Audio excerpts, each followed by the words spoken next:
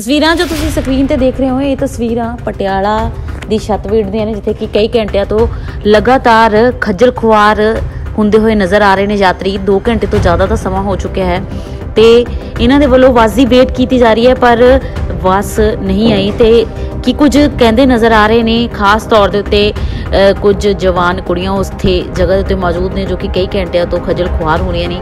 ਇਹ ਕੁਝ ਕਹਿੰਦੇ ਨਜ਼ਰ ਆ ਰਹੀਆਂ ਨੇ। ਆਓ ਤੁਹਾਨੂੰ ਸੁਣਾਉਂਦੇ ਖੜੇ ਹਾਂ ਇੱਥੇ 550 ਦੇ ਤੇ 550 ਤੋਂ ਲੈ ਕੇ ਹੁਣ ਤੱਕ ਇੱਥੇ ਕੋਈ ਵੀ ਬੱਸ ਨਹੀਂ ਆਈ, ਇੱਕ ਸਿੰਗਲ ਬੱਸ ਆਈ ਹੈ, ਉਸ ਤੋਂ ਬਾਅਦ ਆ ਬੱਸ ਆਈ ਹੈ।